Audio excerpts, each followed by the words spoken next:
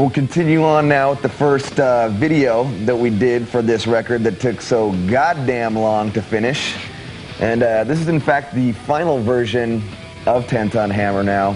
If you were watching last week, we had a rough cut of the video that we uh, accidentally sent the uh, wrong version. So uh, check it out. If you taped it, you got a cool, never to be seen again version of that video.